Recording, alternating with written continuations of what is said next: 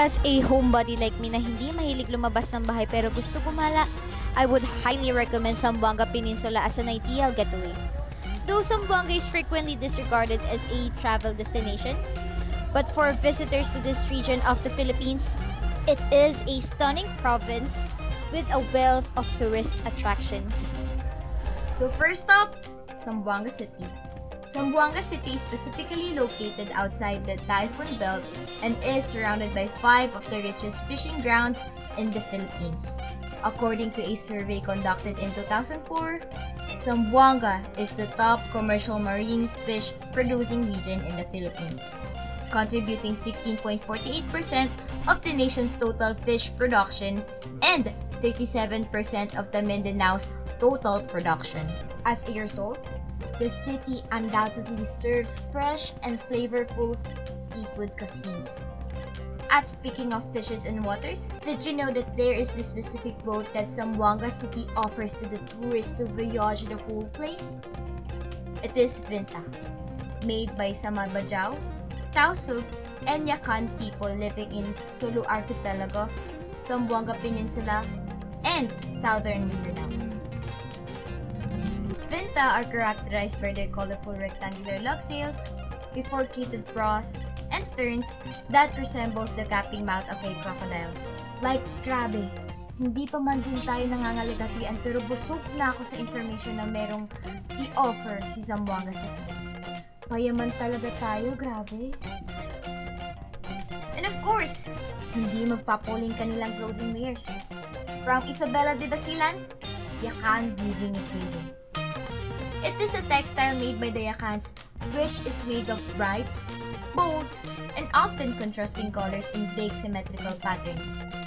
Inspiration for designs comes from island living and Islamic sacred geometry.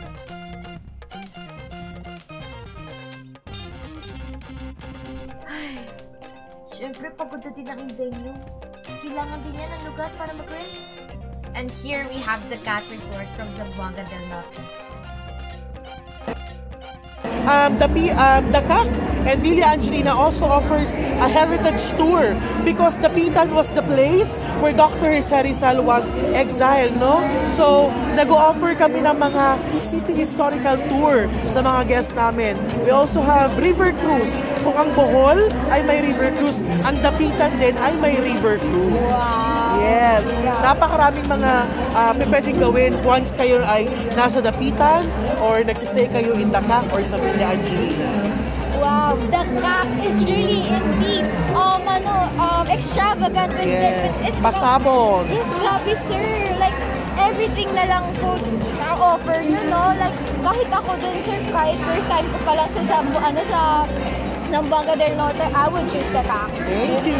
So, um, so guys, um, thank you very much, sir. Dances. So, Dancel, um, so guys, nakikita niyo yun na Dakak Resort is really indeed um, um, exquisite. So, try to check it out. So, hello.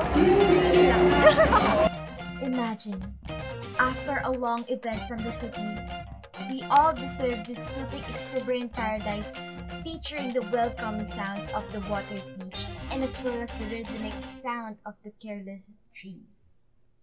Papaano pumunta? Okay, I got you. By means of air, Philippine Airlines and Cebu Pacific have daily trips to the Dipolog City from Manila. And Cebu Pacific flies to the Dipolog City from Cebu Sported from the airport via bus for a 45-minute trip to the resort. At dahil gumala na nga tayo, panindigan na natin to. Kung ang Zamboanga City ay may Yakan River at mayaman sa laman dagat, at ang Zamboanga del Norte naman ay may Dakak Resort, syempre, hindi magpapatalo ang Zamboanga del Sur na may Paglinawan Farm.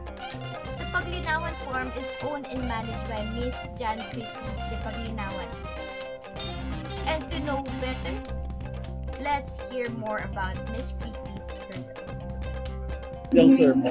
So Zamboanga del Sur is um, an area like under Del Norte that's uh, a lot of hidden, um, beautiful tourist sites that has been untouched, especially since a lot of before it's um, the stigma behind going to Mindanao and traveling to Mindanao. So currently, um, my farm is located actually in Dumingag, Zamboanga del Sur. So in Dumingag, Zamboanga del Sur, we only recently started to get into um, more push for tourism uh, with our uh, waterfalls, with our cultural, and also with um, the farm. So actually, this farm, Paglinawan Organic Eco Farm, is a 10 hectare farm that uh, showcases organic and agricultural sustainable uh, processes through um, tourism. So we like to promote to um, customers and, and tourists uh, kind of to go back into nature and to be one with nature through agriculture. So, So, ano po yung tour spot na may recommend niya sa atin? So, so far we have in Dumingag uh, the farm. Then there's a cenote, Sea of Clouds. So it's a basically an overview of a valley where you can see all the clouds underneath. And then there's Salvador, Salvador Falls. So beautiful waterfalls in the city of um, the town of Salvador. And then aside from that, every Friday and Saturday nights, recently released our night market. So in the night market, it showcases food entrepreneur, um.